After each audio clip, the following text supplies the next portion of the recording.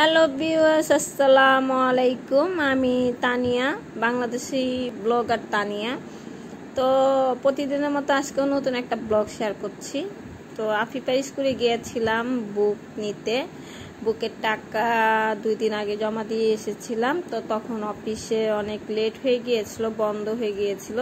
সে কারণে বুকটা সেদিন দেয়নি। তো এটা গতকালকে আমি নিয়ে এসেছি বুকটা তো কি কি বুক দিয়েছি স্কুল থেকে সেটা আপনাদের সাথে শেয়ার করছি। আসলে স্কুল থেকে বুকগুলো নিয়ে আসার পর এত বুক দিয়েছে আর এত খাতা দিয়েছে, এত ভারী যে আমি একা উঠাতে পারছিলাম না। পরে দারোয়ান দিয়ে গিয়েছে আমার বাসায়।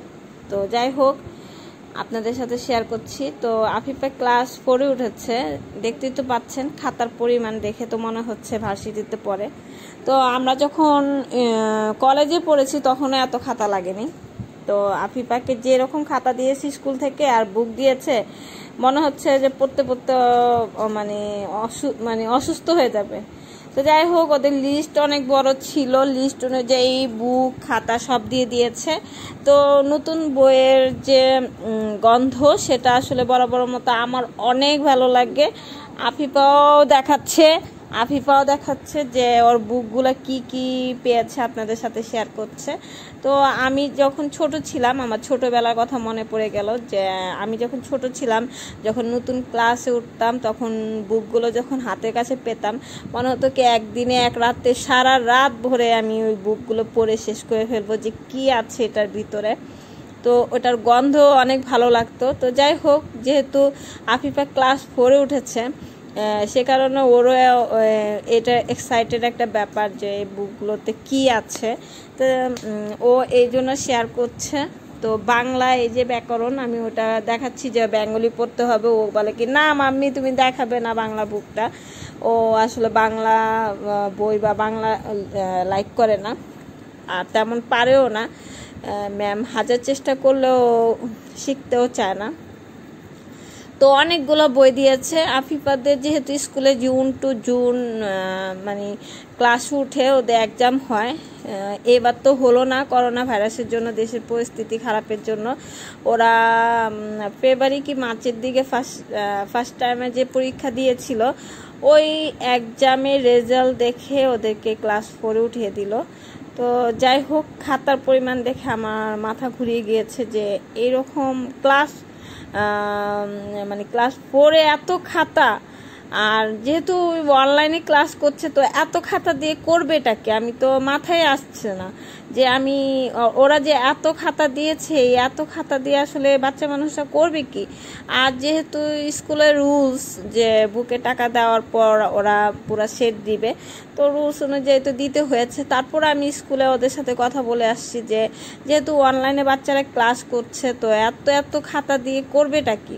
তোরা বলছে ম্যাম এটা তো আমাদের রুলস সবাকেই নিতে হবে। তো রুলসে যেহেতু স্কুলে পড়াবো রুলস তো ফলো করতেই হবে।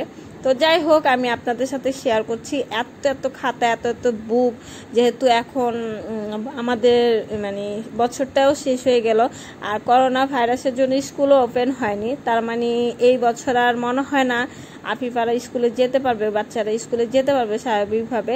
তো এই যে ড্রয়িং খাতাগুলো দেখিয়ে দিচ্ছে। তো সকালবেলা যে মানে ওরা যে রেগুলার ক্লাস করে আমার মেয়ে, তা না। মানে অনেক সময় মনে হয় কি করবে না। ইচ্ছা মতো যে ভার্সিটিতে যেরকম হয় না যে ভার্সিটিতে ক্লাস করল, এখন আমি করব না, আমার ভালো লাগছে না, আমি ঘুমতে করতে পারছি না। তো এইভাবেই কাটছে। আমাদের জীবনটা, আফিফা, লেখাপড়া মানটাও এমন কাটছে, ম্যাম আসলে পড়তে চায় না। তো এত এত খাতা দিয়ে করবে কি বুঝি না? জানি না, আসলে স্কুলের রুলস তাই নেওয়া হয়েছে। তো যাই হোক, আফিফা বুক আর সব কিছু শেয়ার করলাম। তো আফিফাকে বললাম যে, তোমার ডেস্কে তোমার বুকগুলো খাতাগুলো কীভাবে গুছাবা, সেটা গুছাও। তোমার হাতে তুমি সব কিছু গুছিয়ে রাখো। আমি সবসময় চেষ্টা করি, ওর যতটুকু কাজ আছে, ও নিজে করুক, এটা শিখবে। কারণ এখন যদি না শিখে, পরে হয়তো বা এগুলি করতে চাইবে না। তো আমি চেষ্টা করি যে ওর যতগুলো কাজ আছে, ওই নিজে হাতেই করে থাকে। তো আমি বলছি ডেস্কটা নিজের হাতে গুছাও, দেখি কেমন করে গুছাবা, তুমি সুন্দর করে গুছাবা। এগুলির বুক যেহেতু তোমার, এই কাজটা তোমারই করতে হবে।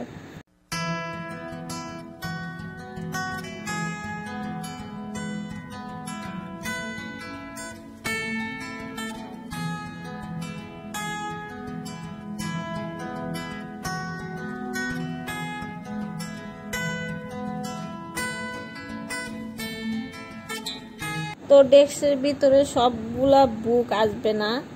আসলে বড় ছোট মিলানো বুক ছিল, তো ডেস্কের যেগুলো ছোট বুক বা খাতাগুলো ওগুলো গুছিয়ে নিচ্ছে, আর বড় বুকগুলো ডয়ারে গুছিয়ে নিবে।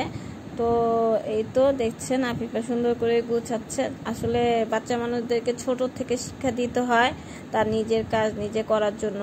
যদি শিক্ষা না দিবেন, তাহলে ওরা করতে চাইবে না। আমরাও ছোটবেলা আমার মা বাবা আমাদেরকে শিক্ষা দিয়েছে যে নিজের কাজ নিজে কীভাবে করতে হয়, নিজের জিনিস কীভাবে নিজের যত্ন করে রাখতে হয় সেই শিক্ষাটা আমিও আমার মেয়েকে দেওয়ার চেষ্টা করি, যাতে করে ওর বড় হওয়ার পর কোনো প্রবলেম না হয়।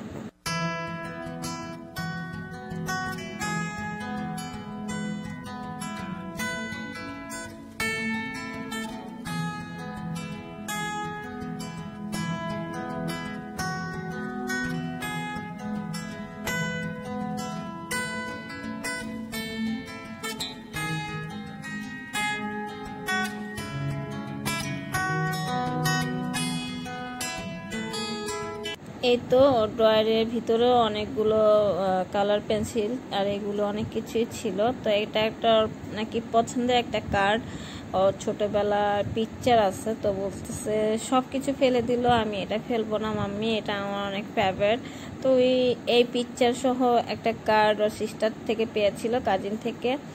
তো ওইটাই ওই রেখে দিয়েছে ওর ড্রয়ারে, বলে কি এটা আমি যত্ন করে রেখে দিব, এটা আমার খুবই ফেভারিট একটা কার্ড আর এরকম অনেক কার্ডই পেয়েছে, ছোটবেলা আসলে সবই ফেলে দিয়েছে, কোনো কিছুই যত্ন করে রাখিনি, এটা কেন রেখেছে জানি না, ওর হয়তো বা খুব ভালো লেগেছে।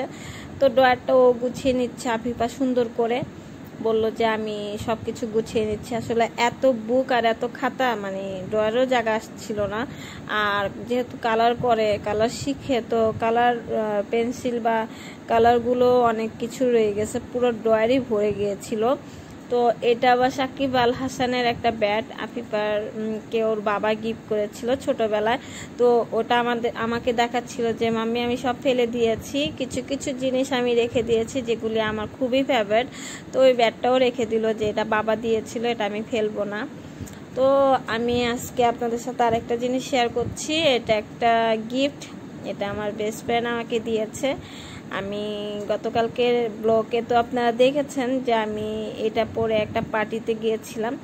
কিন্তু আমার ফ্রেন্ড আমাকে এটা গিফট করেছে। ও আমাকে বলতেছে যে পার্টিতে যখন গিয়েছিলাম, ওর বাসাতেই আমি এটা গিয়ে পড়েছি।